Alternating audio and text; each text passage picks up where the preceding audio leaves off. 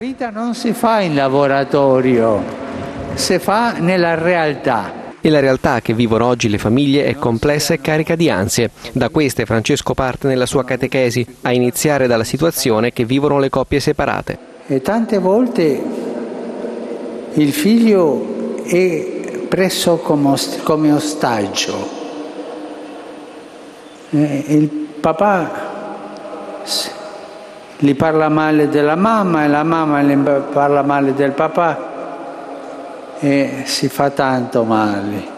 Voi siete separati per tante difficoltà emotive, la vita ha dato, vi ha dato questo, questa prova, ma che i figli non siano quelli che portino il peso di questa separazione.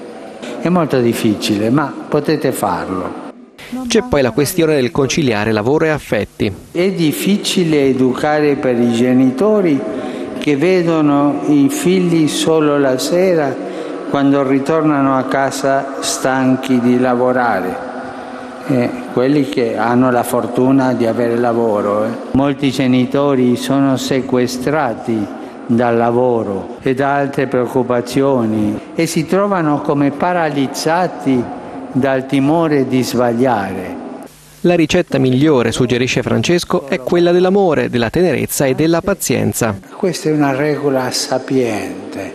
Non comandare eh, di una maniera brutta per non scoraggiare i figli. I figli devono crescere senza scoraggiarsi, passo a passo. Ambito critico è la scuola, dove padri e madri delegano ai cosiddetti esperti il proprio ruolo educativo e dove, a differenza del passato, i rapporti tra genitori e insegnanti sono sempre più segnati da tensioni e sfiducia reciproca.